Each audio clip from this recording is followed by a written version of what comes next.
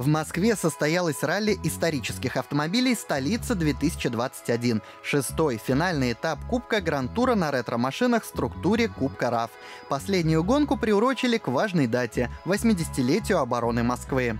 И оно все соткано из единичек, связанных именно вот с этой датой. Потому что мы стартуем из легендарного места. Это Центральный музей вооруженных сил э, Совет, Российской армии уже. Э, мы проедем по э, местам памяти э, Москвы.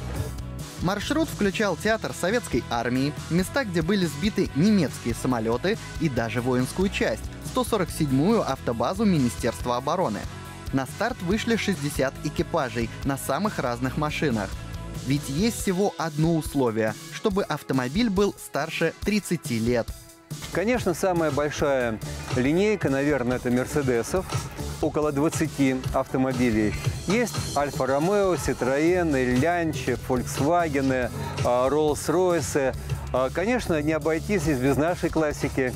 Это и «Жигули», и «Москвичи», и «Победы», и э, ГАЗ-21. Вот, скажем, Родион Газманов приехал на ралли на Volkswagen Жук 70-го года выпуска. Эта машина уже приносила ему победы. Например, однажды экипаж назвали лучшим дебютом сезона.